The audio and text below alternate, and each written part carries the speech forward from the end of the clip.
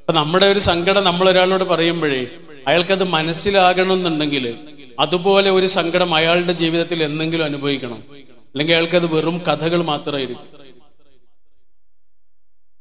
മനുഷ്യന്റെ സങ്കടങ്ങളുടെ കൂടെ നിൽക്കാൻ കഴിയുക എന്നുള്ളതാണ് ഏറ്റവും വലിയ മഹത്വം. കാരണം നമ്മൾ ഈ കണ്ടുമുട്ടുന്ന എല്ലാ മനുഷ്യരും ഉണ്ടല്ലോ. അവരൊക്കെ ഏതെങ്കിലും തരത്തിൽ ഒരു നഷ്ടം ജീവിതത്തിൽ സംഭവിച്ച ആളുകളാണ്. ഓക്കെ? ഏതെങ്കിലും തരത്തിലുള്ള നഷ്ടങ്ങൾ. അത് വളരെ പ്രിയപ്പെട്ടവരുടെ സാന്നിധ്യമാകാം സ്നേഹമാകാം ഏറ്റവും പ്രിയപ്പെട്ട ഒരു കൂട്ട് നഷ്ടപ്പെട്ട ആളുകളാവാം. ഇങ്ങനെ ജീവിതത്തിൽ വളരെ പ്രധാനപ്പെട്ട ചില നഷ്ടങ്ങൾ സംഭവിച്ച